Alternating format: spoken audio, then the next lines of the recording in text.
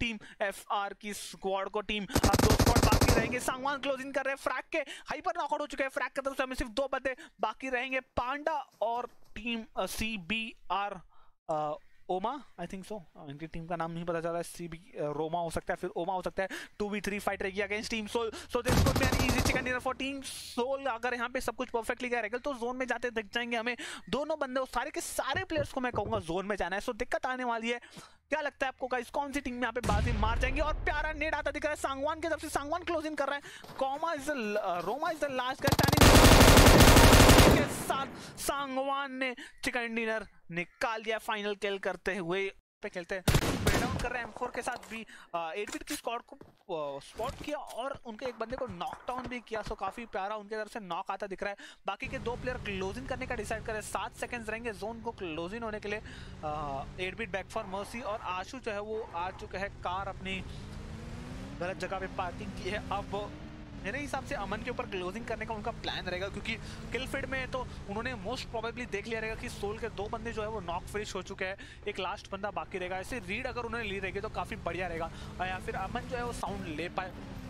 पाँच total team बाकी है। रैका की स्कॉट जो है वो काफ़ी बढ़िया खेल रही है। रैका की तरफ़ फ्रैक के पनिशर को नॉकआउट कर दिया। एक और बंदा बाकी टीम नंबर 11 की तरफ़ उसके ऊपर दिख रहा है रैका के काफ़ी बढ़िया नॉकडाउन और फिनिश आता दिख रहा है। रेका के पास ऑलरेडी टेन किल्स हो चुके तो काफ़ी बढ़िया खेल रही है रेका की स्क्वाड फ़िलहाल। तो 8 बिट के प्लेयर्स हैं यहाँ पे। 8 बिट के माफिया है। नॉकआउट है।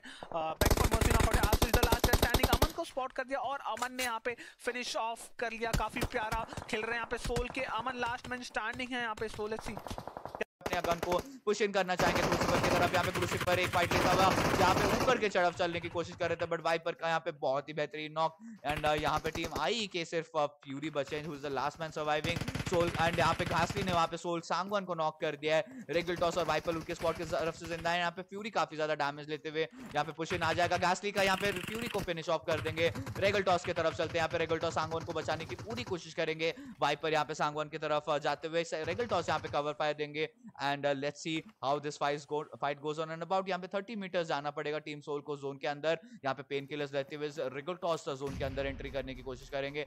माइकल को स्पॉट आउट करने की कोशिश कर रहे हैं रेगल टॉस यहाँ पे सांगवान को रिवाइव ज़रूर कर दिया गया है। एंड माइकल यहाँ पे रोटेट करते हुए यहाँ पे स्प्रे डाउन करने की कोशिश करेंगे। सॉकवेव का यहाँ पे मॉलोटॉफ जाता हुआ सांगवान को नॉक करते हुए यहाँ पे रेगल टॉस ने अखॉम के माइकल को स्पॉट कर लिया। शॉकवेव यहाँ पे सांगवान को फिनिश ऑफ़ कर देंगे। नाउ रेगल टॉस और वाइपर ही बचे अकेले यहाँ पे शॉकवेव का बहुत ही बेहतरीन स्प्रे आता हुआ लास्ट मैन सर्वाइविंग है स्टीम सोल्स वाइपर देखते हैं डीटी ऑकॉम की शॉकवेव क्या यहाँ पे फिनिश करते हैं। Shockwave with beautiful one B three team Soul को वाइप आउट करते हुए यहाँ पे ले चुकी है चिकन डिनर